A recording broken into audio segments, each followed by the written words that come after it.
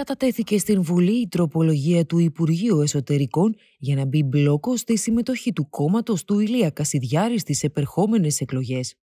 Σύμφωνα με κυβερνητικές πηγές που σχολιάζουν την τροπολογία, η ελευθερία ίδρυσης και συμμετοχή σε πολιτικό κόμμα είναι πολιτικό δικαίωμα των Ελλήνων.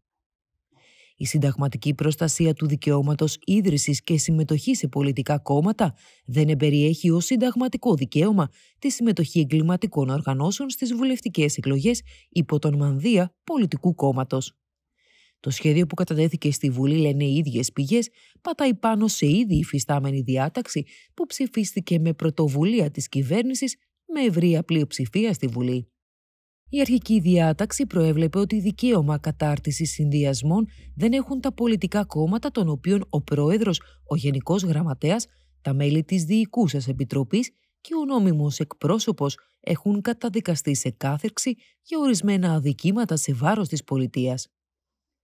Η πρόσθετη αξία που εισφέρει η τωρινή τροπολογία καταλαμβάνει τις περιπτώσεις εκείνες που η ηγεσία του κόμματος είναι εικονική Δηλαδή έχουν τοποθετηθεί αχυράνθρωποι, αλλά την πραγματική ηγεσία την ασκούν άλλα πρόσωπα που εμπίπτουν στους περιορισμούς.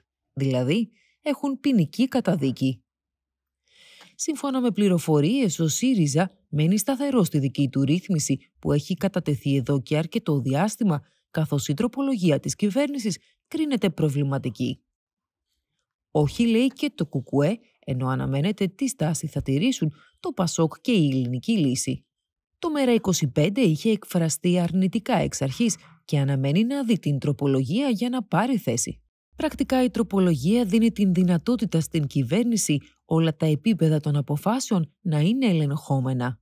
Υπενθυμίζεται ότι ο ΣΥΡΙΖΑ έχει προειδοποιήσει από την πρώτη στιγμή για αντισυνταγματικότητα παραμέτρων της ρύθμισης και τον κίνδυνο η διατύπωσή της που δεν είναι σαφής για τους πρωτόδικα καταδικασμένους του δομοκού της χρυσής αυγής να γίνει κερκόπορτα για διευρυμένες ερμηνείες.